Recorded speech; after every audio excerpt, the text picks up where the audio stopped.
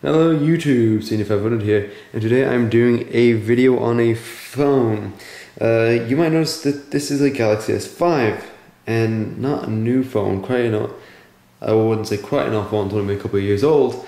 So instead of being, hey look, cool new unboxing, this is actually it's showing you how this thing has actually held up after two years. Now, if you watch previous videos, you might be wondering, but you didn't have this phone for two years, and that is correct.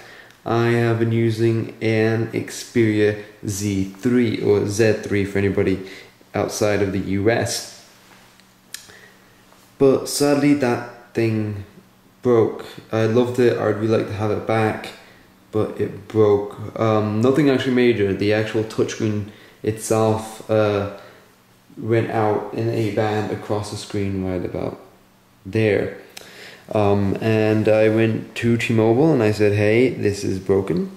Uh, I only had till October to until I had the phone paid off, which I am sad about because no longer uh, will I have it. Um, and they're like, "Well, you know what? Uh, we will we will get you a replacement phone because you're under warranty." And when I checked the text, they said it's a Galaxy S5 because they ran out of Xperias and are not making them anymore. Now, I got this as, because it is the closest replacement that they had to the Z3. Now, spec-wise, it is pretty, pretty close. It has the same 2.5 gigahertz Snapdragon 801 processor. It's got a 5.1 1080p screen, unlike the 5.2 of the Z3. Water IP67 to the 68 waterproofing, but difference-wise, very net, uh, negligible I pronounced that correctly. And battery life, mm, the battery, of course, it, it is definitely small. I do not have that exact spec. I'm very sorry about that. Uh, I might be able to get out, just Google it here. Has it worked the same? And that answer is no. And I'll tell you why. Because one key difference they had, the Xperia came with 3 gigs of RAM instead of the, the Galaxy's 2. Now you'll be thinking it's a 1 gig of RAM. Well, that's actually quite a lot. One number difference makes a huge internal difference, and I'll tell you why. So, when this thing came out, it was top of the line, and for a 2000, mm, this is 16, so 2014, 13 smartphone, it was in a big way. But Sadly, 2 gig of RAM, and this is 16 gigabytes versus the 32 of the Xperia, does not hold up anymore. While Samsung, I will so I will say a couple good things about this one. A, Samsung, you're doing a great job about updating this thing. Does have does one marshmallow, unlike uh, the T-Mobile Z3, still only on Lollipop, and uh, last time I checked, it was just 5.0 Lollipop, not 5.1. Um, it still handles well. It's still a great phone, but let's start diving some settings. Now, first up, it's got TouchWiz, which you either like or hate it. I'm really not a fan of it at all, but just really using it smoothly, it runs just fine. It really does.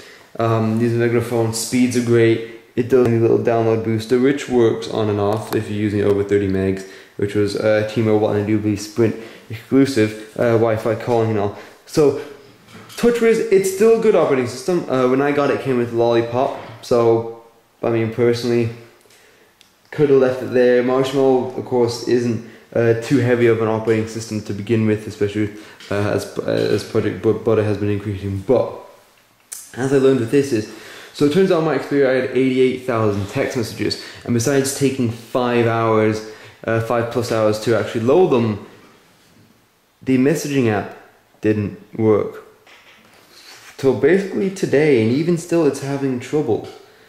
Now the Xperia breezed through it, and yes, I know. Um, I I will say the Xperia did get slower at times, if or it would freeze up while I'm receiving a text message if I'm sending another one.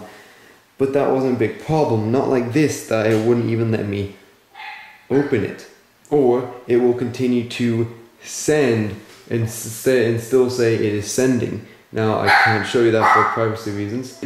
I cleared 94, I will say 96 conversations down to now 40 and this messaging app is still slow. That 2 gig of RAM can't handle it, sadly. As well as performance-wise, I tried I tried some gaming on it.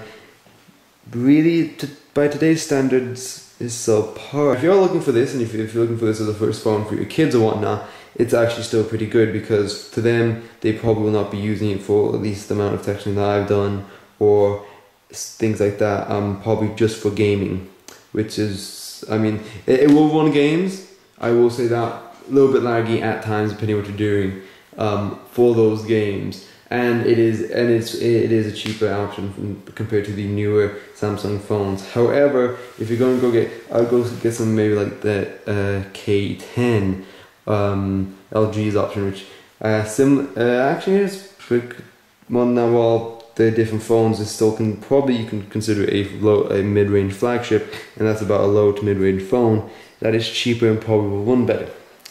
Uh, now,